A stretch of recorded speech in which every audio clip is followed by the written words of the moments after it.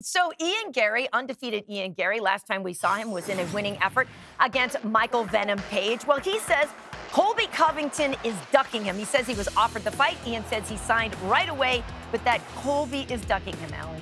Uh, I think Ian Garry might be telling the truth on this one. And, you know, you never can tell. Ian Garry likes to hype things up, and you can't always believe which is said, but none. The one thing you can't take away from Ian Garry is a young prospect. Ian Garry is a scary guy to fight. Ian Garry has the length, the reach, the speed on a lot of fighters. And being, being honest, Colby Covington did not look like himself in his last fight. No, you guys know how I feel about Colby Covington at the desk. So you know what I'm going to do? I'm not going to talk a lot about Colby Covington taking the fight against Ian Garry because we know he's not going to do it.